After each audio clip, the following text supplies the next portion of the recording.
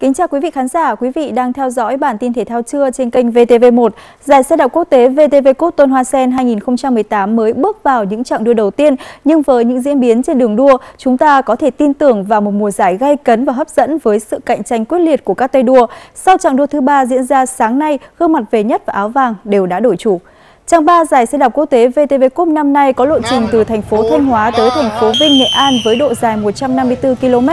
dù ở các điểm spin ở chặng 3 chứng kiến thành công của các cô Việt Nam, nhưng các cô của chúng ta đã không giữ được phong độ và để các cô nước ngoài bung sức và bứt phá mạnh mẽ trong những km cuối, tách top và về đích ngoạn mục và chiếm 4 vị trí đầu tiên. Kết quả người cán đích đầu tiên là cô Jean Paul Morales của đội Philippines Navi. Trong cuộc đua các danh hiệu cá nhân với thành tích về đích thứ hai tại chặng 3, David Van Er không chỉ tiếp tục giữ áo xanh mà còn vượt lên giành áo vàng từ người đồng hương Hà Lan Van der Bigi. Ngày mai giải sẽ tiếp tục diễn ra chặng 4 với lộ trình từ thành phố Vinh đi thành phố phố Đồng Hới Quảng Bình có độ dài 197 km.